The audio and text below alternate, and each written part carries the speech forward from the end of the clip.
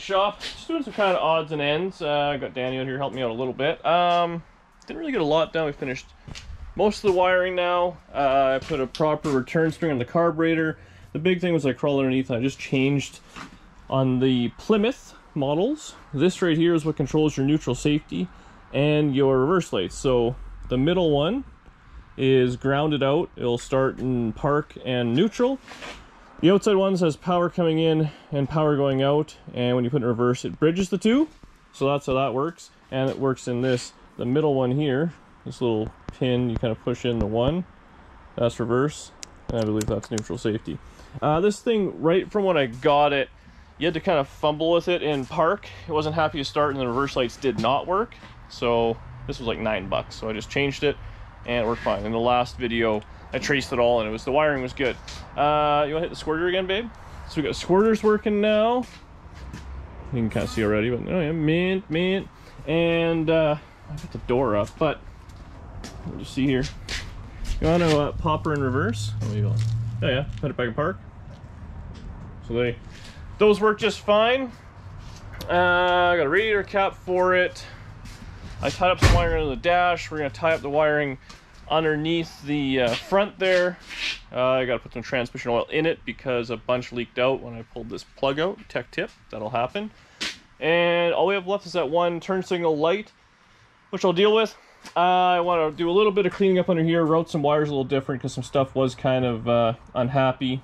Uh, you know, the breather line's going nowhere, the PCV valve's going nowhere. We got that all capped off, so I got some hose I can run. Make it look a little more pretty. See if I have a air filter top something. Oh, I got a Chevrolet one. I should put a Chevy air filter lid on the Plymouth, or people lose their minds? I feel like you can answer that yourself. so, uh, anyways, I want to go. I want to wash this thing. We got to get a couple jerry cans of gas because it only has like 10 bucks in it. I think everything works, which is shocking for me. Really shocking. And then I want to take this thing for a ride around the block today. So Danielle can come, she'll film it, she'll film the arrest, and we're getting pulled over for not driving with uh, proper documentation and insurance. And yeah, Where's should be a good one. Money? Exactly. Yeah, she's coming around. So we're gonna run some errands. We'll be back shortly, and we'll uh, yeah, put this thing all together. I'm pretty excited. All right, we're back from errands. Uh, didn't really do a whole lot. I mean, the car's down on the ground. I did make the uh, turn signal work by I just bought a universal one, hogged it out, and had a little snap in. It has its own ground, so it's it works. It's not pretty, but it'll it'll work forever. Uh, put transmission oil in it.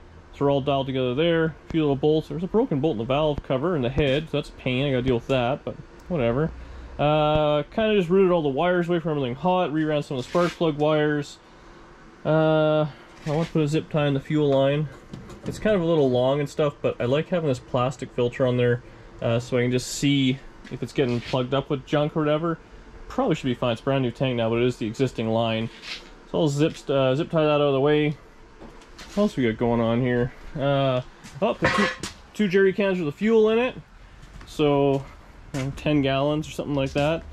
Uh, we stopped by Canadian Tire. They said, got some stuff, uh, Windex, paper towel, and some stuff to wash it. So we're gonna do that. Vacuum it all out. Everything there. Yeah. Except the for some reason, fan stopped working. So that's nice. At top tank of fuel. Everything else seems to work. Oh, compressor kicked on. So yeah, we'll uh, we'll get this thing outside. I gotta move the truck, move a bunch of junk, and uh, vacuum the inside out, wash the outside real good. Yeah, go for ride around the block. First time since 1976. Been on the road. We got the hot rod out. Danny did her makeup all nice because she's gonna be on camera. Mer stopped by. Uh, we're actually we're gonna legally take this thing for a ride around the block. Mer. That was the that was the whole plan of today. So bring the vacuum out, get her all cleaned up outside, wash her up nice. You gotta come over. and We gotta do the alignment at some point because I, I don't know what all these switches and knobs are for on this thing. It's all out. Switches and knobs. I know where to find a knob. Danny's a little cranky. I had a small fit today. I'm not crazy. I had a fit, I had a little slip and fall, and I threw a couple of drinks. But no big deal. We're fine now. We're dodging. So, uh, yeah, we'll get the stuff out. We'll start. Uh, Danny can get all sudsy up and uh, clean the sucker up. No. I'm going in. No, no, no. We got to match the rest of the car to the windshield. I we'll bring nothing to do with Merce here. We'll get the polisher out. Yeah, we'll Mer's here to do it. look at this thing. All right. Well, let's get after it. Uh, so I shined up inside or whatever. I need some armor all or more patience, I guess. And then I'm just gonna hose out under here. Try and be just lots and lots of water. Uh, it really shouldn't be that dirty under here. It's just all the junk from moving stuff in and out. Actually, the hood had some rust in it or something like that. Gentle. Should have bought an end at Canadian Tire. Went to Canadian Tire twice today. So I'll just kind of get all the junk off. And then uh, set the laps up. Detail the outside with a bucket of soapy water. And yeah, this thing will be uh, road ready. Oh, we gotta grab the fire extinguisher. That's on you to remember. Yeah. Get it all cleaned up.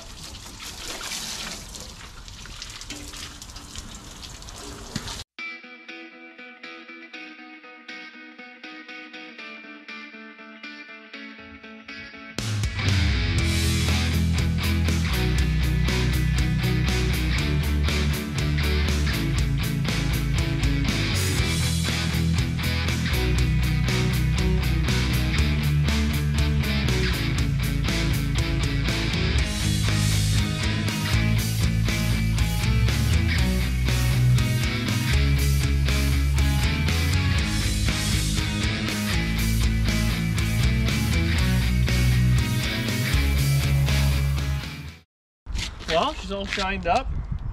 It's a nice looking car, I think. Eh? Can you get the whole thing in? You're not at the right angle. I feel like that's the best angle of the car. So, we're gonna go take this thing for its first drive. This is the plate that came on when I got it. 1976. 77 sticker. So, what is that? Long time. I don't math well. But, uh, this thing was only on the road for 10 years before it ended up sitting and then running out and blown motor or seized motor all that stuff. And uh, without well it was a lot of time. I did go a little overkill but she's back on the road and i put a pile of hours in here. But you know what? There's a lot of people that helped out uh, along the way.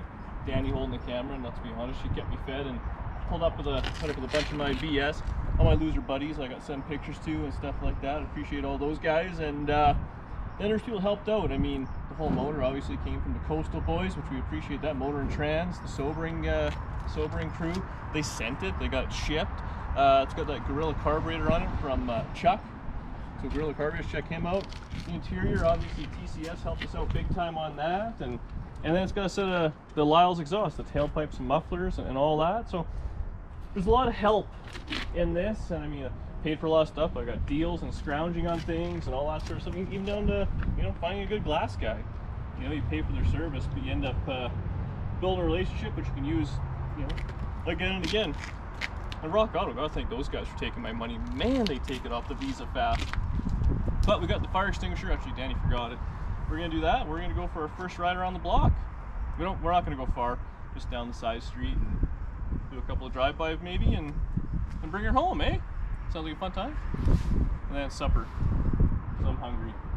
And hopefully it won't let us down. We're not going to go so far, we can always walk back. the keys will be in it if it dies.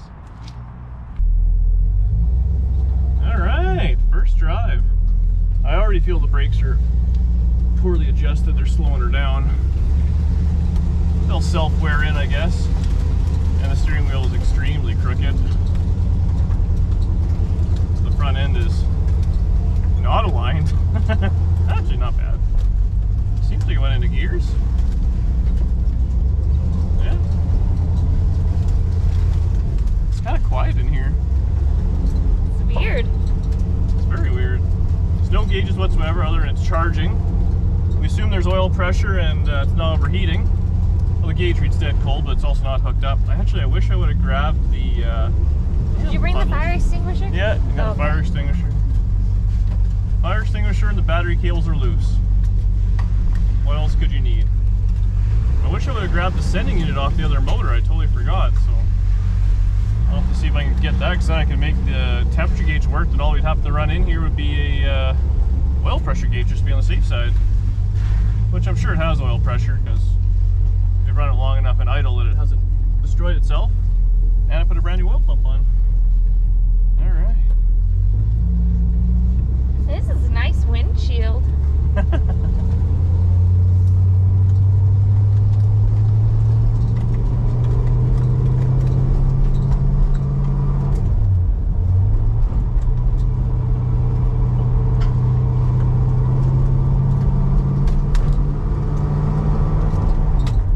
Yeah, it's got all three gears. That's really blowing a lot of junk out the vents. Eh? Just breeze to the side. Man, this thing's nice. Oh.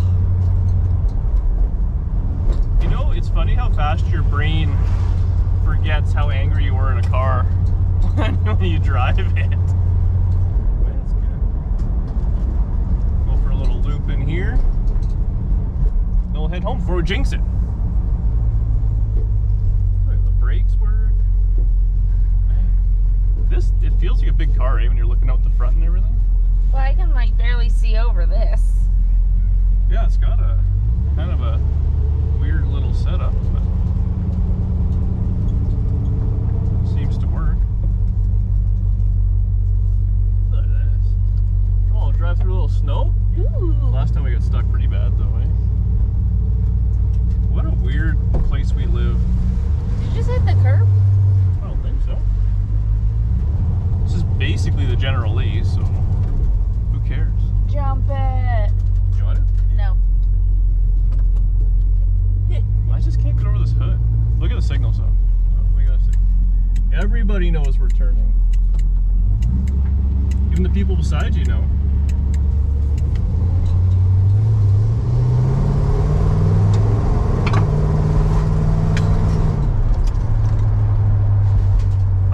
Oh! Something fell off too. I heard something.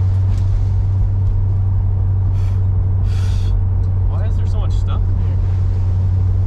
I feel like I Back. needed my face mask just to be in the car. it's fine. Look at that. It's got some jam though. Feels pretty, s- pretty sporty. Some jammy jam. Yeah. This is a cool car. I like it. Anybody want to buy it? I'm just kidding. Am I? No, I'm, I'm excited to drive this thing actually. I think this will be a nice summertime cruiser. Drive to work all the time. Until I get in the driveway and it yaks all its guts out 'cause it's overheated. I didn't know. Wow.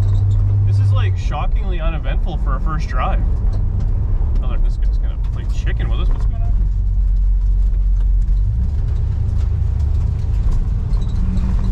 Crazy lady and her golden retriever. You sure hear the rocks in this thing though, eh? Oh yes. It's weird. Alright. Look at the 55 sitting there all alone. Aw. 455. It's like a hot rod alley here. Huh? This guy's gonna want by. Take your time, sir. Take your time.